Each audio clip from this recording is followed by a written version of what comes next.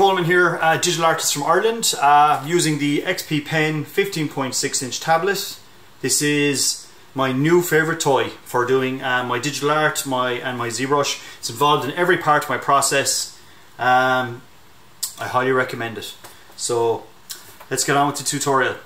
Hi guys, this is Ken um, for XP Pen. I'm here to show you um, some an introduction to ZBrush. Okay, now I'm going to make a set of videos that will cover the basics and how the interface works. Uh, it's a bit different to some other 3D programs, um, but I will cover all of those um, as we go through it.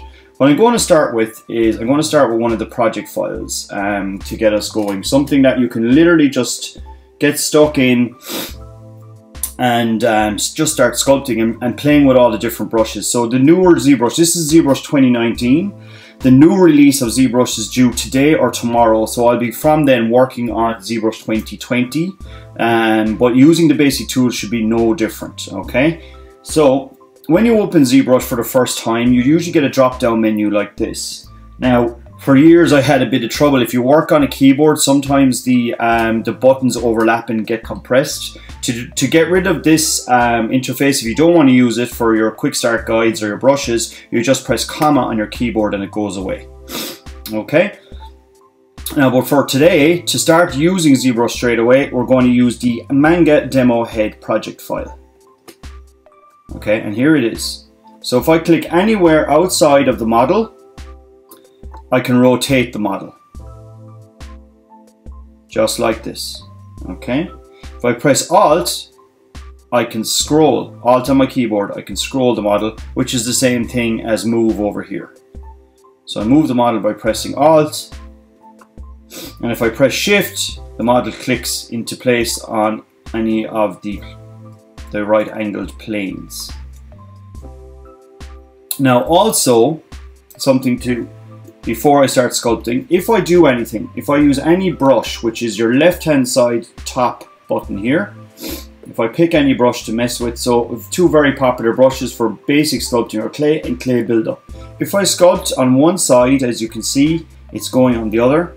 And if you want to use that, and often when you start your own project, that is not turned on.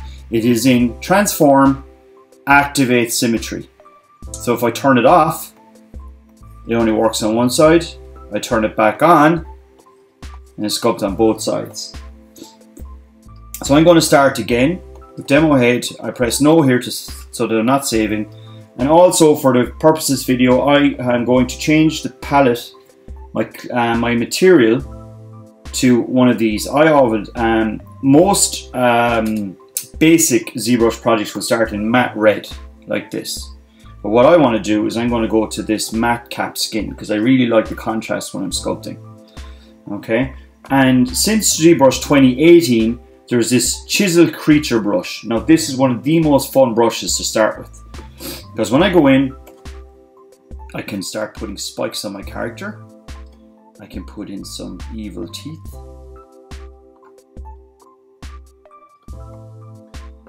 Okay. I'm switching to my other camera so you can see the gestures I'm making on my screen. I'm using a 22 inch E uh, XP Pen Pro. Okay, I love this tablet. What I also have is the new 15.6 inch Pro for when I'm on the road or demoing um, when I demo uh, publicly.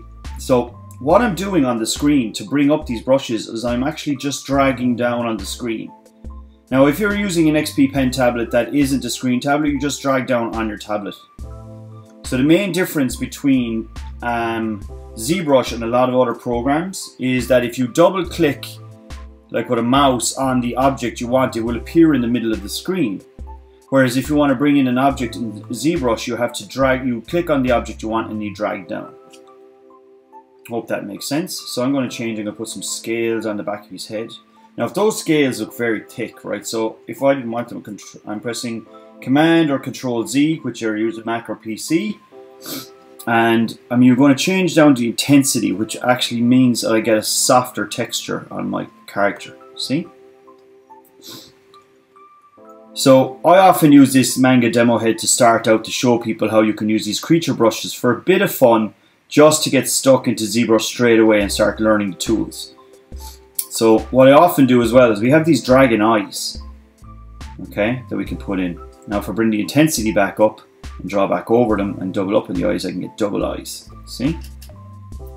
So this is one of my character heads almost done already. So it's very fast to start. So you can just play around with all these different tools. I maybe use this um, neck fin. And as you can see, because symmetry is on, it, it overlays on itself on both sides.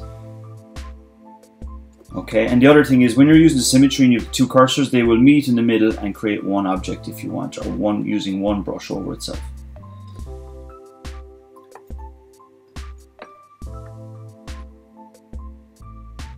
So this is very good brush for quickly building up some creature designs. Okay. Now, when I teach ZBrush, I often let people just play with some of the project files just like this. For instance, if I go back in here and I take the demo uh, female head instead of my manga head and I press OK. So here's my female head. The same buttons, I can press shift to get it to click into place. Now you see there's a floor underneath so I can turn that on and off with the floor button here on the right. There's also a perspective button which will change the perspective of a model slightly. I often leave it, I always leave the perspective button on simply because when I'm using my rendering software which I have with ZBrush which is Keyshot, um, there's per per perspective sliders which I always use. Okay, so I want to try some different ones now. So what I'm going to do is I'm going to go in and we also have some great things like model kit, parts, machine parts, boolean parts, and spaceship. These are all installed in ZBrush and what's great about them is I can, on this head, I could start to make some bionic features. So I drag them on. Now when I let go of this, you'll notice that the head has gone dark and the eyes are still there, okay? And the reason is on this model, and one of the reasons I want to show you is this is where we start using the subtool menu. Now, if anyone has used Photoshop, subtools are like layers. So I can turn off the eyes, turn back on the eyes. Let's again switch to uh, um, my matcap skin so you can see better.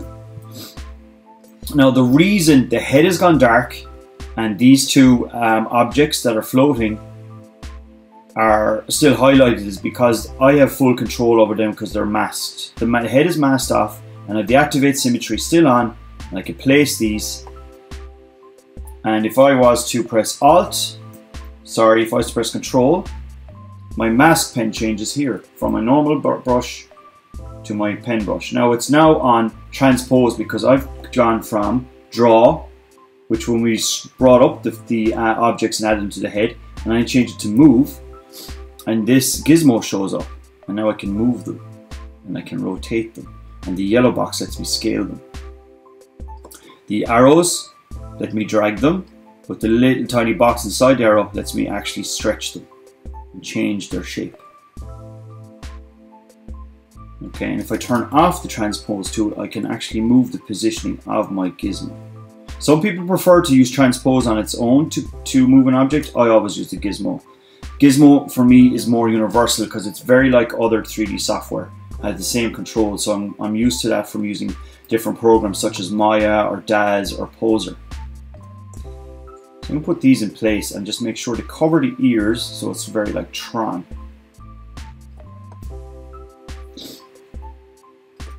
Okay, and again I'm just dragging down on the screen. Now you can do one of two things here. You can press Control, go back to Draw first, sorry, press Control, and if you select anywhere on the screen, the mask will go away. You can alternatively, alternatively go to Masking and Clear in these drop-down menus. Now the other control here is you cannot use the scroll wheel to go through these. You have to drag up and down with drag gestures with your pen, just like when you're dragging the screen. And when you press any of these tools, the main ones we're going to use for a moment are Subtool, Geometry, and Masking. So if I'm using subtool, there's all my subtool menus, and I press that and it clicks back. And press geometry, there's my geometry menus, which we will get to. But if I press subtool, geometry immediately closes and subtool opens. Okay, so that was one way. I'm going to undo. Now we have two ways of undoing. I can keep pressing Command Z or Control Z to go back, or I have a little history bar here where you can see that this is the last one. I'm going to go back one step. My technique that I like to use in ZBrush for kit bashing, because I'm more of a kit basher than a sculptor in this program, because I use it for 2D and abstract illustration. I'll go into my subtool menu over here. I go to split and I go split mask points. If I press that and I go back to my subtools here, you can see that the um, mechanical head pieces I've added on and my head are now separate. So when I move my mechanical head pieces, they're a separate entity. So I'll go back to my head, draw on. Now that was a mistake I made and what happened here, and it's good to clear the mistakes first. This stuff always happens. Because I was on the move tool, move tool at first instead of going back to draw, when I clicked an object, it automatically transformed my object from being the head into the object I actually wanted to stick onto the head. So I'm going to go undo to draw and I'll draw the object back onto the head. So I can put one there, one there, one there. And I'm to put one in the back of the head so I can show you in the next tool how to use something like wiring for fun. Now because as you can see that's the last tool I drew, these two have now masked off as well and are connected to the head. So if you want to split them, you need to draw one. See the other one is darkened now and is part of the head. You need to draw one and you need to split it automatically. Split mask points. And now as you can see in my subtool menu, those other ones are stuck to the head and this one is on its own. And if I press frame, it brings the head back into the middle. Now just to cover what division is and dividing in geometry a little bit, if I click on my head now again, and select my head subtool, and I go to geometry and press divide, you can see that it's smoothed out. I have doubled the amount of polygons, and polygons are the spheres, the 3D spheres that make up this object. But what you can also see is if I undo, my mesh count was 26,000 kp, and when I divided it, it went up to 68,000. So it went to just over double. That's where the resolution starts to come in when you're sculpting. Now what I do when I'm sculpting is that you can look up loads of different videos about Dynamesh, Remesh, how to, to retopologize and what retopologizing means. It's one of those words that's very frustrating when you start out in 3D modeling in ZBrush because you hear people using it assuming you know what it is.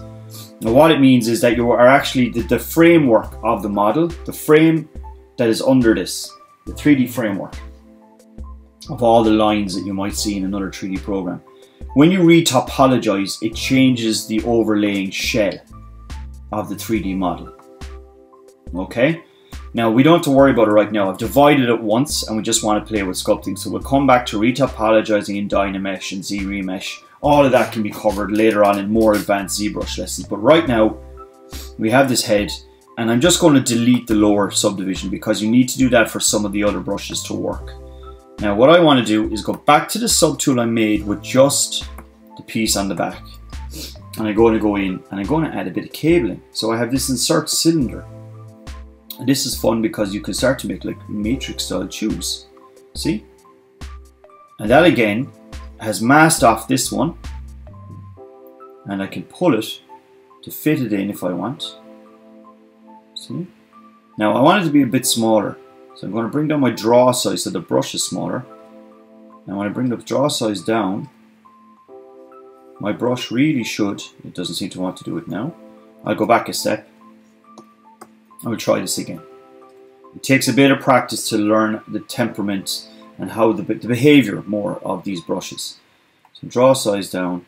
What I'll do is I can actually split that again. So I'll split mask points and now I have the wire on its own the paths tool, which was covering the wire, is gone. For instance, if I draw another paths tool directly onto the head with the sphere, and I've made it much smaller, as you can see, if I click near it when you have this little red line, it'll make a new one, and it'll either continue or it'll keep transforming the wire. And I had the symmetry on, so I have two of them. Okay? But if I click away from it, the wire disappears and I create a whole new set of wiring. You see? on my head. Now press frame again to bring into the second middle. Now because I did two sets of wires, As you can see even in the subtool menu, only the outside one is highlighted. I press, press split mask points and it disappears. So now, in the space of about 5 minutes, with a demo head and some of the kit bash brushes, I've created a kind of almost robotic feature. I'm going to leave that at this for now, simply because I don't want to overwhelm anyone with too many ideas. These are well, if these are practiced enough, just moving objects around the screen, with the um, preset project files like the demo heads and just kit bashing on some parts, you start to learn some great sculpting. So the only other tool that would be a lot of fun to play with here is like clay build up. As you can see, I bring up again the intensity like I covered before, make it stronger, I have the brush size bigger so I can draw more. And the other thing that you could do is press sub. So that's adding clay, the sub is cutting into the model and I will repeat that in the next session.